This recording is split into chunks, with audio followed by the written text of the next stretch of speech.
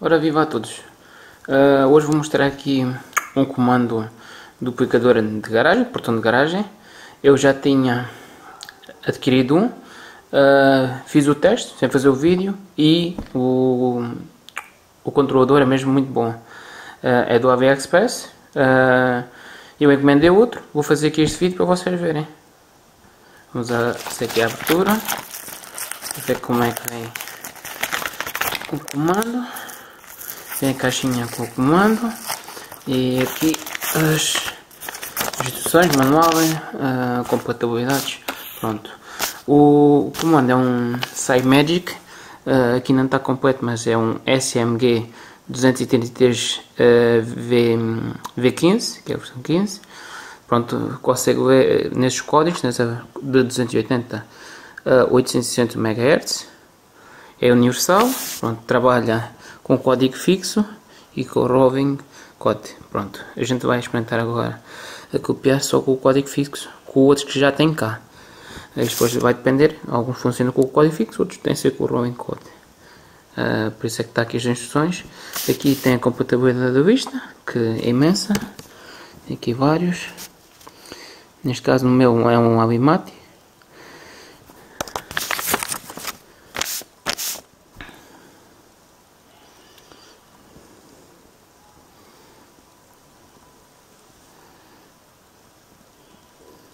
A partir disso funciona com tudo.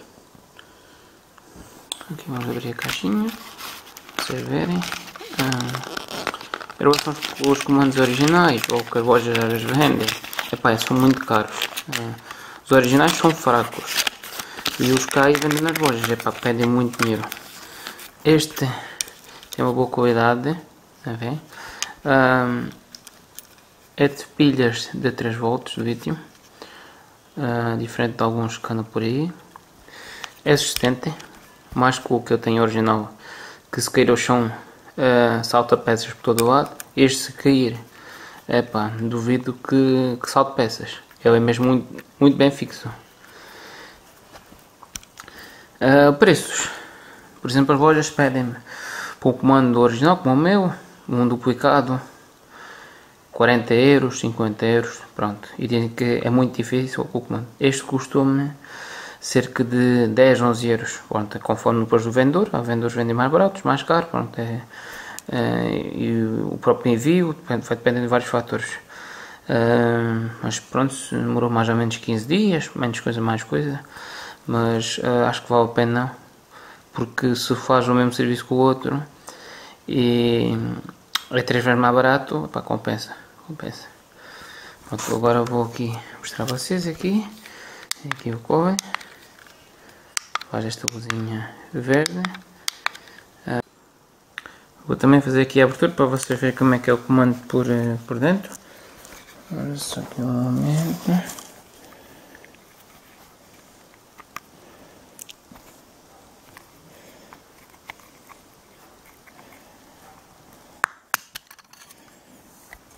Pronto, tá?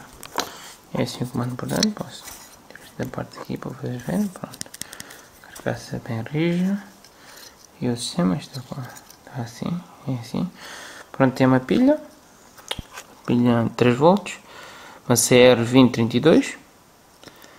Bastante fácil de tirar. Se tirarem e depois trocarem, uh, o, o, comando não dispara.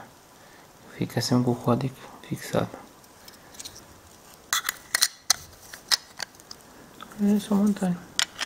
Pronto, apertar, pronto, tá. Agora vamos tentar proceder aqui à programação do comando. Uh, este é o novo, este é o original, é um Almatic uh, que está bastante danificado. É, a qualidade também é fraca, é muito frágil. Pronto. Já caiu algumas porradas, já largou algumas coisas. A bateria de vez em quando faz mau contacto, pronto, típico deste comando.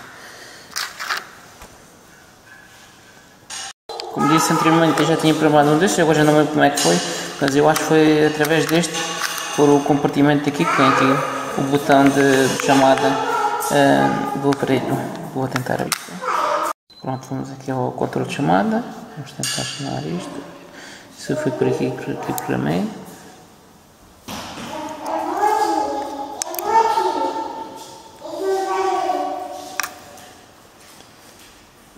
Esperar um pouco.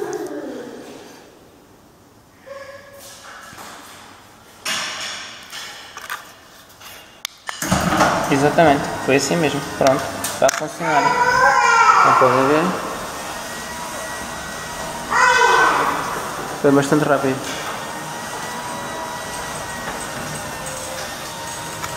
Agora podemos experimentar agora. Por exemplo, vou parar. Parou. Esperar um pouco. Vou fechar. Pode não fechar logo a primeira. Mas agora a segunda. Pronto, já está. Ele não é um comando super rápido, mas, mas funciona. Vamos agora parar. Parou. Esperamos um pouco. E agora vamos dizer outra vez para ele abrir. Está. Para quem tem almatiques, esta é a forma de programar. Uh, eu vou deixar na descrição o link da, do sítio onde comprei, para vocês acederem mais facilmente e verem. Espero ter ajudado.